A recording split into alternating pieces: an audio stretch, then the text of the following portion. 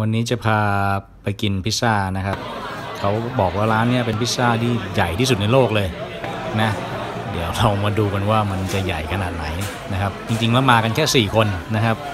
เมื่อกี้เห็นแวบๆแล้วโต๊ะข้างๆ 12 คนนะครับ สั่งไปถาดหนึ่ง เรามา 4 คนจะไหวไหมนะครับ มาแล้วโอ้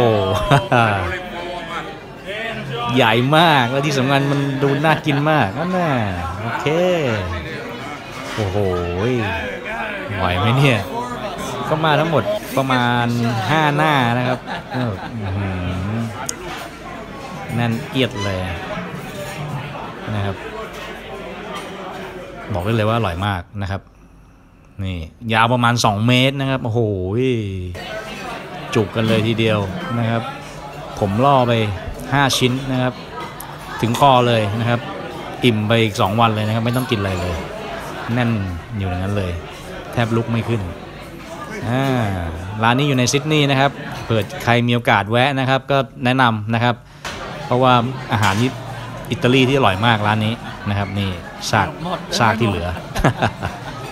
นะครับ โอ้โห ไม่ไหวแล้วครับ ได้แค่นี้ครับ โอเคนะครับ นี่ร้านนี้นะครับ ขอบคุณที่ติดตามชมนะครับ